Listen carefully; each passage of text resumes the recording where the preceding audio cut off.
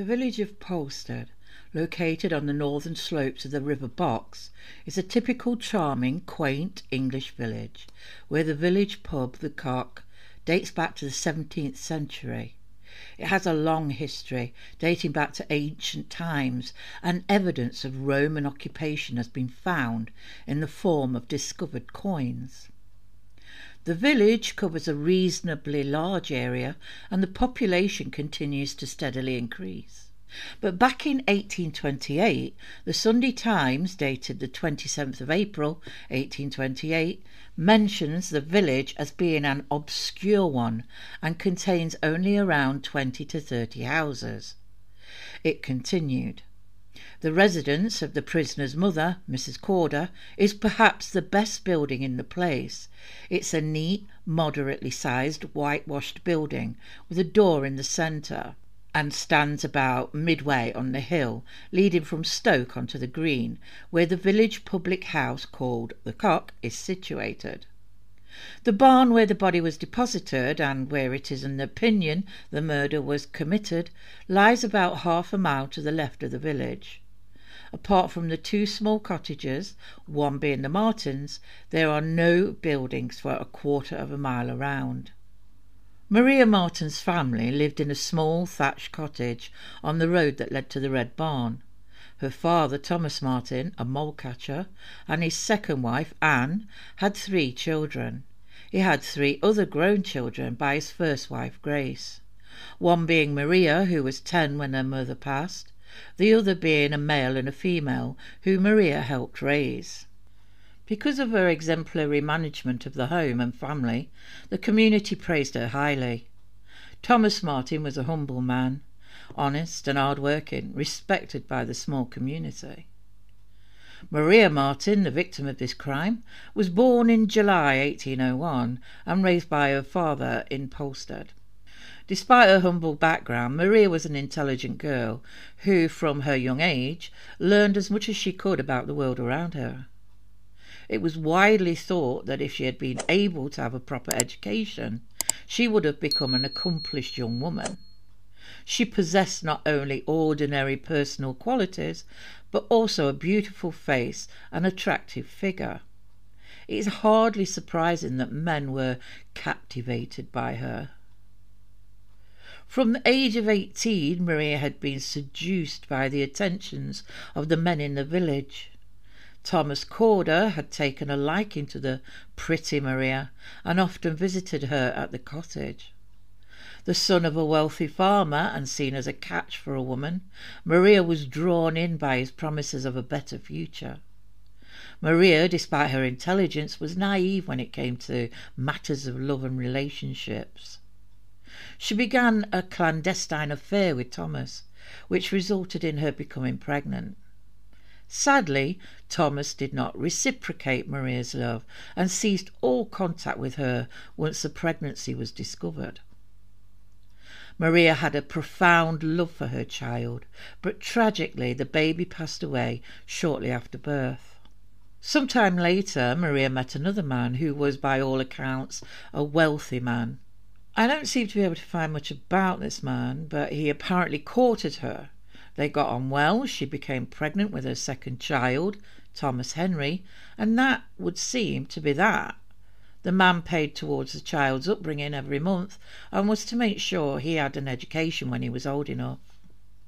It wasn't known just when William Corder became involved with Maria, but whenever it was, the relationship was built on promises. Corder gave many promises to Maria that he would marry her, she became besotted with the young man, who it would seem was a bit of a rogue. Maria became pregnant again with her third child, William's child. Even though she and her father wanted to know when he would do the honourable thing and marry Maria, he always managed to find an excuse to postpone, but never denied his promise of marriage, as was witnessed by many others. Maria, for some reason, wasn't in the, her family home when she gave birth. She was staying somewhere in Sudbury.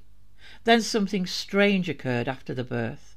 She returned home with the child, and the baby gradually became sick. All those who were present around the child declared the decline in the child's health was due to natural causes. But was it? It has long been thought that the child's passing was due to Corder, unwilling to bear the financial burden of raising a child, resorted to underhand means to make the child sick, and Maria harboured her own suspicions regarding the child's illness. When the child passed, William Corder and Maria took the child's body in a box, William stating that he was going to have the child interred at Sudbury. It wasn't until after Maria's passing that they discovered the child had not been buried in any known location that they knew. Despite their efforts, they were unable to locate the child's body. The only conclusion they could reach was that the child hadn't had a Christian burial but no further inquiry was made into the child's whereabouts. At the trial, Corder claimed he and Maria had buried the child in a field. Arguments between the couple were witnessed. On one occasion, Corder clandestinely took a £5 note from a letter intended for Maria and her child. An argument erupted when she uncovered William's action. In an attempt to salvage the situation, he made a vow to Maria that if she kept his transgression a secret, she and her child would be perpetually provided for and would lack for nothing. William Corder was born in 1803 to John and Mary Corder. John Corder had lived in Polstead all his life and farmed 300 acres of land. The couple had eight children, but lost two in infancy. On his death in 1825, he was survived by his widow and six grown children, four sons and two daughters. By 1828, only one of his sons was left, and that one son would be sent to the gallows for the taking of Maria's life. William was a well educated child and indulged by his parents. Even at an early age he wasn't well liked amongst his peers, as he had the reputation of being a thief and a liar who was sly and cunning, which resulted in him earning the nickname Foxy. His parents despaired to the point of sending him to work on board a ship, but because he had an eye defect, he was turned away. Around this time, he befriended a man nicknamed Beauty Smith, a notorious thief who had been transported twice because of his stealing pigs. He had also spent some time in prison. Corder and Smith would often team up to steal livestock. Smith would later be tried, convicted, and transported for life. While Smith was in Chelmsford jail, he spoke derogatory of Corder, claiming the man would one day be hanged.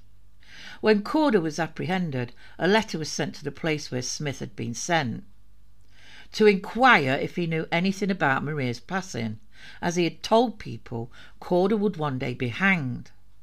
Smith's response was that he knew nothing of the crime, but he knew Corder was a wrongdoer, and hanging would possibly be the result of his ways one day. In May 1827, not long after the child's death, Corder visited the home of the Martins and indicated to Maria, her father and stepmother, his readiness for the ceremony to take place.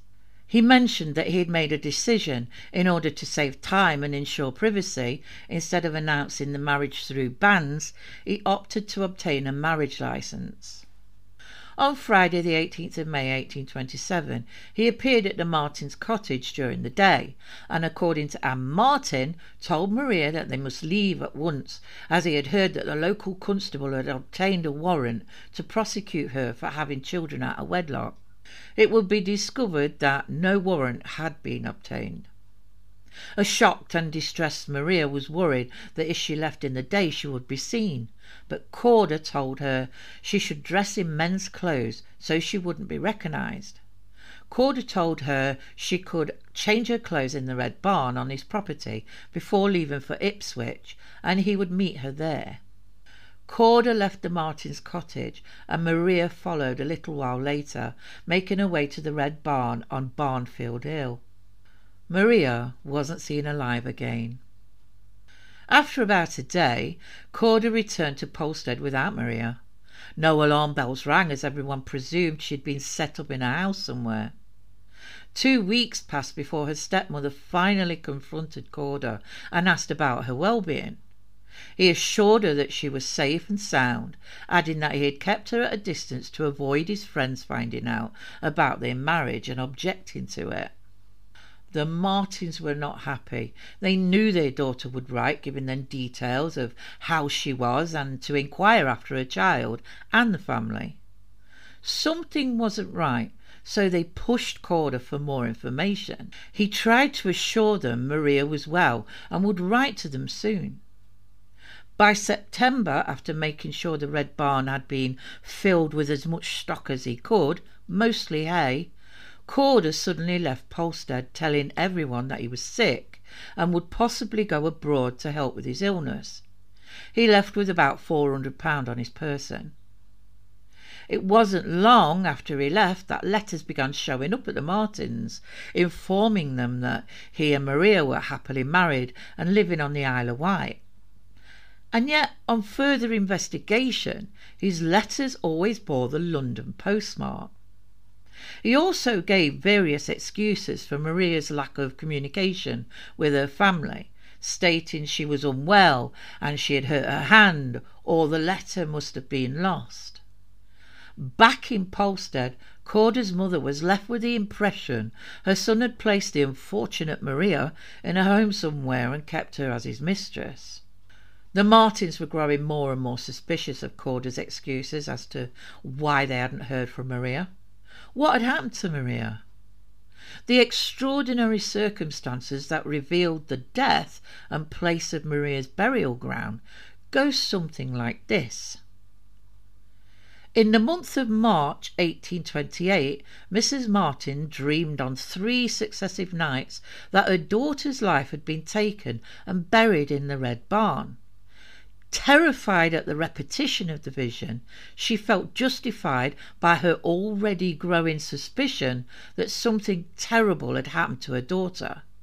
So strong were her feelings, and so convinced was she of the truth of her dreams, that on Saturday, the 19th of April, she persuaded her husband to apply for permission to examine the Red Barn, with the professed object of looking for her daughter's clothes.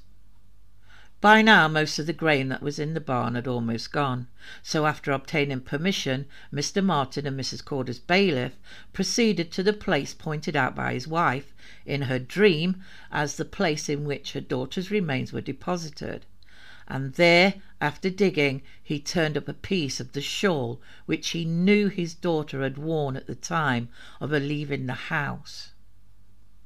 Alarmed at the discovery, he continued to dig, and when he had dug to the depth of about eighteen inches with his rake, he dragged out a part of a human body. Horror struck, he staggered from the spot, but subsequent examination proved that his suspicions were well founded, and that it was indeed his daughter. The place where her remains lay were in the exact spot his wife had dreamt of. The body was in an advanced state of decomposition, but the dress, which was perfect, and the teeth of the deceased gave sufficient proof of her identity. The coroner was informed, so an inquest could be held. Before the inquest, an examination had been performed by Mr. John Lawton, a surgeon, who determined that Maria's death was a violent one. He said that there was a visible appearance of blood on the face and on the clothes of the deceased, and also on a handkerchief which was around the neck. That the handkerchief appeared to have been tied extremely tight, and beneath the folds a wound was visible in the throat, which had evidently been inflicted by some sharp instrument. There was also a wound in the orbit of the right eye, and it seemed as if something had been thrust in which had fractured the small bones and penetrated the brain. In conclusion, Maria had been stabbed with a sharp object, most likely a sword that Corder owned. Her neck had been sliced, and she was shot in the head. As soon as the body had been discovered, Corder was the only suspect. The information was sent to London, as that was where the last letter had been posted from. Mr. James Lee, an officer of the Lambeth station, was sent out to locate Corder's whereabouts. With very little to go on, he went from place to place under cover. questioning people along the way. It took him some time, but he eventually found William Corder living in Grove House, Ealing Lane, with his new wife. William Corder had met his wife, Miss Moore, after he had advertised for a wife in the newspapers. They were married within a few days of meeting, much to the disgust of Miss Moore's brother. The new Mrs. Corder opened a school for young ladies at the Grove House premises, and it would seem she was besotted with her new husband. Corder hid himself away and was rarely seen outside. Once Corder had been arrested, his wife refused to believe the charges until all the facts came out, and she couldn't deny it any longer. When questioned, Corder denied knowing anyone by the name of Maria Martin. But when the premises were searched, a velvet bag was discovered that was identified as Maria's by her father. Some other items, including some pistols and a dagger, were also retrieved, and a passport suggesting Corder was intending to flee. Corder was taken in and returned to Suffolk to stand trial. On the 7th of August 1828 the trial started at the Shire Hall, Bury St Edmunds, with a packed courtroom, with many other onlookers waiting outside. The judge, Chief Baron Alexander, resided. The prisoner was asked how he wanted to plead, and Corder replied, Not guilty, my lord. William Corder made his statement claiming Maria had taken her own life after they had argued, and when he started to leave the barn in a temper, he heard a loud bang. He claimed that he rushed back to find Maria lying on the ground. To his horror, he saw that she had used his weapon. He believed she must have taken them from his room and concealed them in her bag when she secretly stayed with him after the child was buried. He claimed his quandary was how this would look.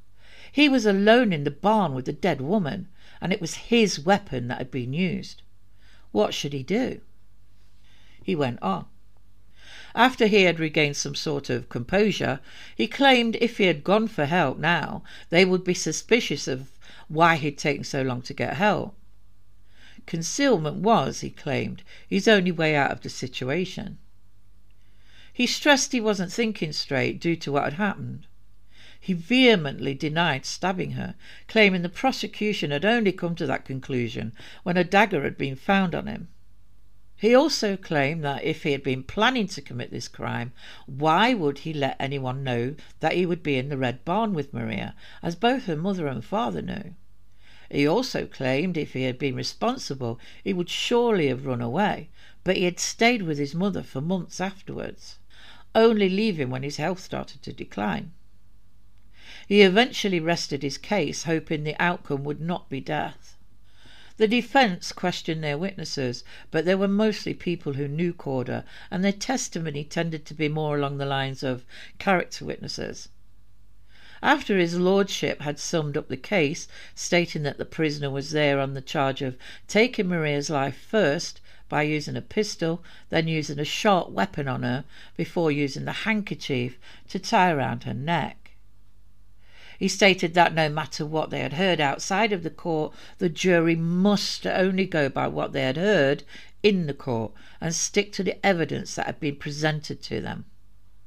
He asked the jury to consider the fact that Mrs. Martin had told the court that Corder had specifically lied to Maria about the charge against her having illegitimate children.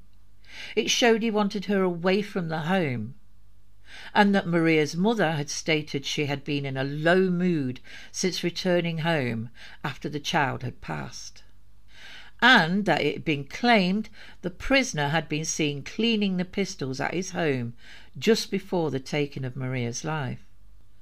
Then the officer who found Corder in London, Mr. Lee, stated that Corder had denied on more than one occasion of even knowing Maria Martin. Then the statement of the surgeon, Mr. Lawton, and after his testimony, the possibility of Maria taking her own life in the manner claimed by Corder looked unlikely. The jury went out. After about 35 minutes, the jury returned with their verdict. They found Corder guilty of taking the life of Maria Martin.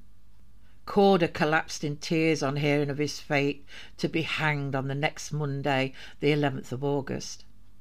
During his time waiting to be hanged, his wife visited him. Mrs. Corder declared her love for him and her belief in what he'd said, and wished for him to make his peace with God. Before Corder went to the gallows, the governor of the prison, Mr. Orridge, heard and wrote his confession. Corder's confession. I acknowledge being guilty of the death of poor Maria Martin by shooting her with a pistol. The particulars are as follows. When we left her father's house, we began quarrelling about the burial of the child. She, apprehending that the place wherein it was deposited would be found out. The quarrel continued for about three quarters of an hour upon this and other subjects. A scuffle ensued, and during the scuffle, and at the time I think she had hold of me, I took the pistol from the side pocket of my velveteen jacket and fired. She fell and died in an instant. I never saw even a struggle. I was overwhelmed with agitation and dismay. The body fell near the front doors on the floor of the barn. A vast quantity of blood issued from the wound and ran onto the floor and through the crevices.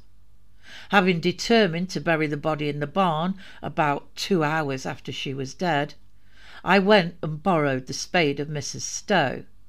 But before I went there, I dragged the body from the barn into the chaff house and locked her up.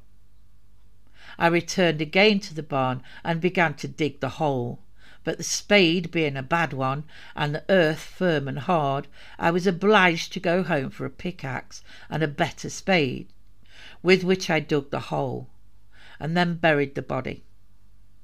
I think I dragged the body by the handkerchief that was tied around her neck. It was dark when I finished covering up the body. I went the next day and washed the blood from off the barn floor. I declare to Almighty God I had no sharp instrument about me, and that no other wound but the one made by the pistol was inflicted by me. I have been guilty of great idleness, and at times led a dissolute life, but I hope through the mercy of God to be forgiven. W. Corder. When Corder stood between the executioner, Mr. Ketch, and the noose, his head covered with the black cap, he declared to all, I am guilty, my sentence is just, I deserve my fate, and may God have mercy upon me. Mr. Ketch then descended the stairs and cut the rope. Corder fell to his demise. Ketch then held the prisoner's waist to prevent a prolonged death, until Corder's last breath was gone. A door was opened for the public to see the remains. It was said thousands of people passed by Corder's body, and at 6 p.m. the doors were closed. When Corder's body was removed, it was first checked by the surgeons and then sent for medical research.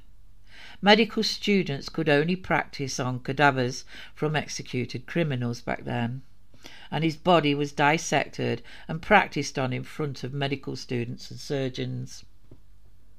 Corder's skin was tanned by the surgeon, George Creed, and used to bind an account of the murder. He also kept and preserved Corder's scalp. This case had all the elements the wicked squire and the poor girl, the iconic murder scene, the supernatural element of the stepmother's prophetic dreams, the detective work by Ayres and Leigh, and Corder's new life, which was the result of a Lonely Hearts advertisement. Not to mention the gruesome facts after death. The sensationalism from this case was incredible. The newspapers of the time made a fortune. Plays and songs have been made and best selling books written, and it continues to this day to attract attention.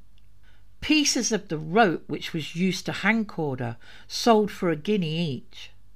Corder's scalp with an ear still attached that was removed by George Creed was displayed in a shop in Oxford Street. A lock of Maria's hair sold for two guineas. Polstead became a tourist venue with visitors travelling from far afield. It was estimated by a journalist at the time that over 200,000 people visited Polstead in 1828 alone. The Red Barn was stripped down with people taking souvenirs. The wood panels were taken and made into toothpicks. This continued until the barn burnt down in 1842. The Martins' cottage was constantly surrounded by onlookers wanting to see the place where Maria lived and the mother who had had those incredible dreams. Sadly, Maria's gravestone was chipped away by souvenir hunters until there was very little left. Corder's skeleton was on display in a glass case at Suffolk General Hospital. It was apparently rigged with a mechanism that made its arm raise to point to a collection box. Until 2004, Corder's skeleton was on display in the Hunterian Museum in the Royal College of Surgeons where it hung beside that of Jonathan Wild, a highwayman. In response to requests from surviving relatives, Corder's bones were removed from display and cremated. The book bound with Corder's skin and his death mask are on display at the Moyes Hall Museum, Bury St Edmunds. Over the years, numerous versions of the story have been told, making it challenging to conduct factual research. However, there are documents available that provide a comprehensive account, including the events that transpired in the courts during that period. Some of these records have been documented by credible witnesses who were present at the time. Thank you for watching.